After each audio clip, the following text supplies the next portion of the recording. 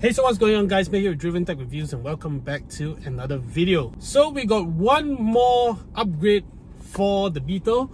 As you know, the Beetle came with 16 inch rims. So I decided to go for slightly bigger rims. So as you can see right here, in these boxes, I just picked up the Raxer rims. So these are flow forming rims, 18 inch in size for the Beetle. So now we're going to be dropping it off at my tire shop and then we will bring over the Beetle and we'll get this installed. Really, really excited because I think it's going to give the Beetle a nice look. At least in terms of weight wise, I do save about a kilo plus for each rim.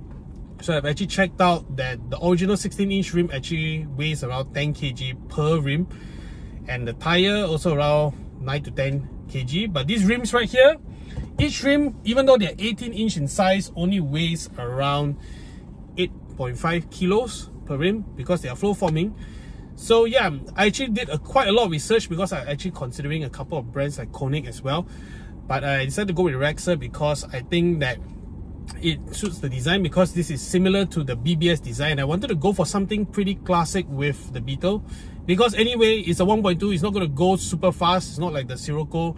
I'm not using it for any aggressive driving. So I decided to go for something that at least looks good so these are actually in the silver or should I say hyper black colorway. Basically they are silver. Uh, they are polished silver.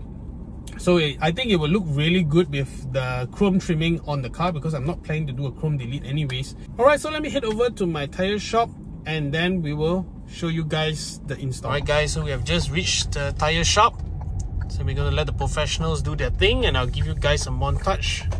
So I'll catch you guys after the install is done. Thank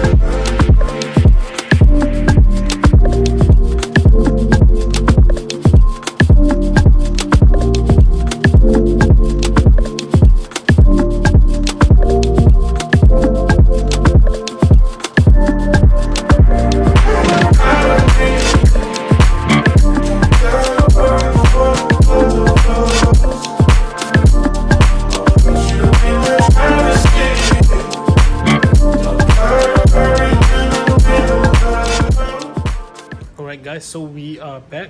They have actually installed it and I'm really really happy with the result. You can see right here, these are ET42 rims.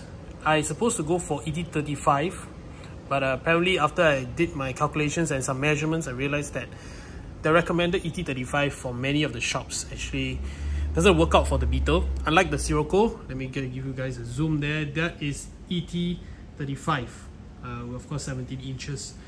Uh, same PCD but those are on uh, ET35s these are ET42 and you can see the difference. The, on the Roco side uh, you can see it's actually not really flush with the fender. You can see it still can go a little bit more wider. I should say maybe like 8.5J or 9J would look perfect. But on uh, the Beetle however you can see this 8.5J you can see it's actually flush with the fender, both the front and the rear. We give you guys a tour. Looks really, really good actually. It actually uh, gives the car a very nice stance.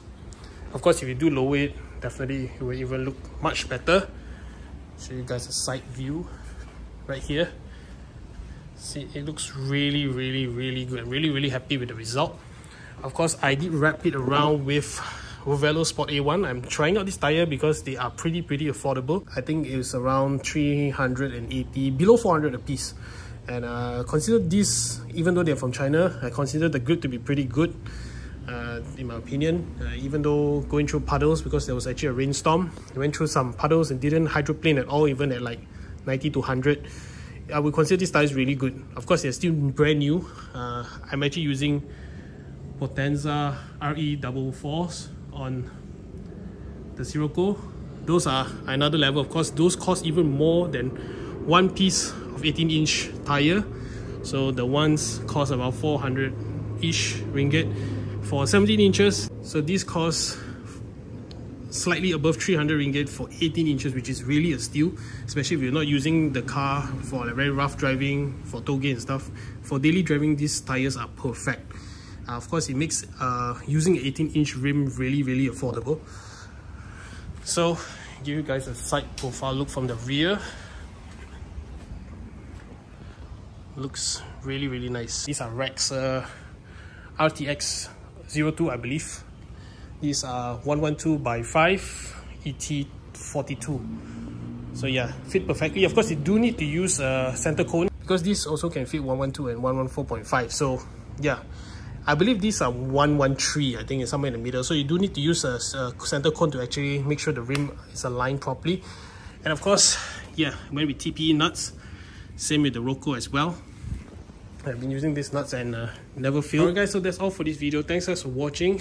Do like and subscribe for more content just like this one and I'll catch you guys in the next video.